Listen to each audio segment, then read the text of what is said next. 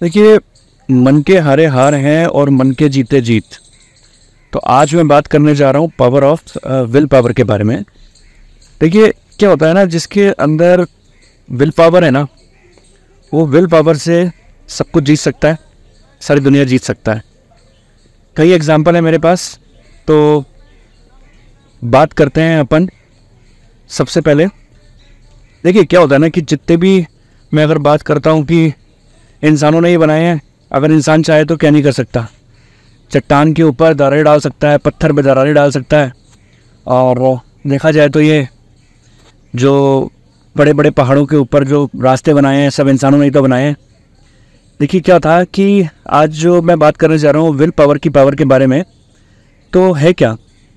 एक बहुत ही मशहूर मुक्केबाज था, मोहम्मद।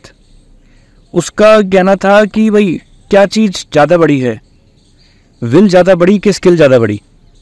किसी ने उससे पूछा तो उसने बताया कि will is more important than skill. तो उससे पूछा गया कि भाई कैसे? विल, स्किल से ज़्यादा इम्पोर्टेंट कैसे? तो उसने कहा, देखो, जब मैं लड़ाई लड़ता हूँ तो लड़ाई लड़ते वक्त जब मुझे कोई मारता है और जो मैं उससे जब लड़ाई लड़ता हूँ तो मेरी स्किल काम आती है। और जब ओपोनेंट मुझे उठा के गिरा देता है तो जब मैं गिर जाता हूँ और मुझे गिर के वापस उठना होता है तो वहाँ पर मेरी स्किल काम आती है। कहीं ना कहीं अंदर से मेरा मन बोलता है और मेरी विल बोलती है कि उठ मोहम्मद, वापस उठ। उठ के फिर से खड़े होना है और फिर से इसको मारना है, फिर से चित करना है। तो वहाँ पर मेरी विल काम आती है स्किल काम नहीं आती। तो ऐसे कहीं मेरे पास एग्ज़ाम्पल है कि जिसके अंदर इंसान अपने विन से जो है सब कुछ कर सकता है। देखिए इंसान को जो अगर अपने विल को समझना है विल को आ, चेक करना है तो वो उसकी एडवर्स परिस्थितियों में जो उसकी परिस्थितियाँ उल्टी होती हैं उसी के अंदर ही उसकी आ, जो विल है उसको समझ में आती है कि मेरी विल मेरे अंदर कितनी है। समय जो होता है देखो हमेशा ठोकर मारता है गिराता है और विल जो होती है वो हमेशा क्या बात बोलती है नहीं फिर उठ के खड़ा होना है फिर आगे बढ़ना है। तो विल इंसान को हमेशा अपनी बड़ी रखनी चाहिए और मेरे पास ऐसे कई सारे एग्ज़ाम्पल हैं इस चीज़ के ऊपर और अगर आपको आज एक बहुत ही खूबसूरत मैं इस चीज़ का एग्ज़ाम्पल दूँ तो हमें विल के बारे में जो सीखना है, आपको बताऊँगा अपनी सीता माता के ऊपर, जो सीता थी, उनको उठा के ले गए थे रावण।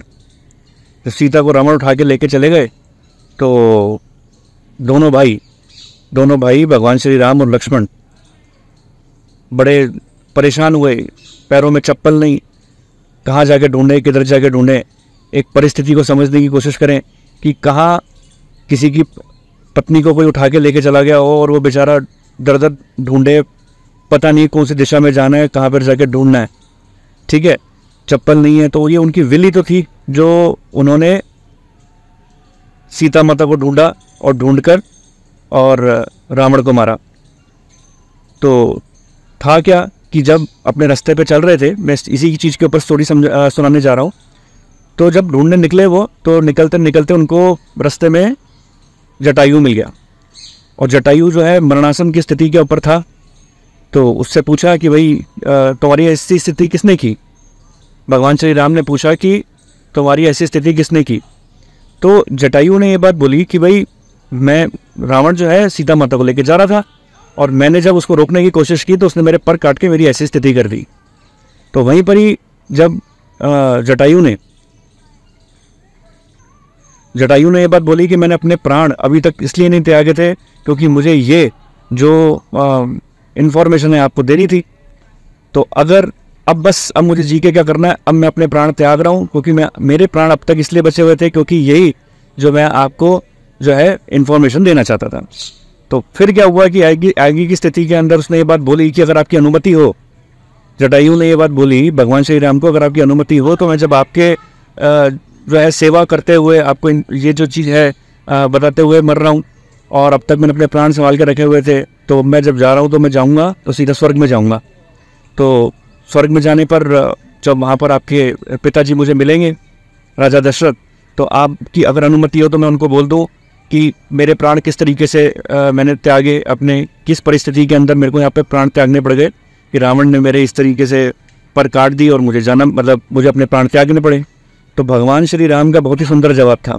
उन्होंने बोला कि भाई, तुम मत बोलना ये बात, मेरे पिताजी को ये बात मत बोलना कि किन परिस्थितियों के अंदर रावण ने तुमको कैसे मारा और कैसे तुमको अपनी प्राण त्यागने पड़े। मैं उसको ढूंढूँगा, ठीक है, मैं उसको ढूंढूँगा। हालाँकि जटायु ने ये बात बता दी थी कि दक्षिण दिशा के अंदर रावण जो है सीता को लेकर गया है। तो उन्होंने बोला, मैं उसको ढूंढूँगा और रावण का नहीं, उसके पूरे कुल का नाश करूँगा। तो ये होती है पावर ऑफ़ विल पावर देखा भगवान श्री राम के अंदर कितनी विल थी कितना पावर था कि उन्होंने बोला खाली रावण का नहीं उसके पूरे कुल का विनाश करूँगा और जब वो मेरी हाथों से मरेगा और मेरे हाथों से मरेगा तो बात तो पक्की है जाएगा वो भी स्वर्ग में ही और स्वर्ग में जाएगा तो वहाँ जाके खुद इस बात को बताएगा कि मैं जो आ, मैंने इस तरीके से काम किया और ऐसे मैं मर गया। ठीक है? तो ये भगवान श्री राम से हमको इस बात को सीखना चाहिए कि हमें अपने विल को ऊँचा रखना है। अगर विल आपके अंदर है तो हर परिस्थिति को आप अपने संकट को, हर संकट को आप झेल लेंगे, हर परिस्थिति को झेल लेंगे। देखिए, अगर आपको अपने विल को ऊँचा करना है, विल को बढ़ाना है तो अपने विल को बढ़ाना चाहते हैं तो फास्ट रखें। कभी भी ऐसा सोच लें कि आज के दिन मैं ये चीज़ नहीं खाऊँगा, आज के दिन अन्न को ग्रहण नहीं करूँगा, आज के दिन अन्न को ग्रहण नहीं करूँगा तो उससे आपकी विल बढ़ेगी। सोच लें, आज के दिन मैं टीवी नहीं देखूँगा तो अगर टीवी नहीं देखूँगा कोई कुछ भी चीज़ को आप सोच सकते हैं, टीवी नहीं देखूँगा, कोई भी प्रण ले लें। जब संकल्प लेते हैं, हम जब प्रण लेते हैं तो उससे हमारी विल बढ़ती है।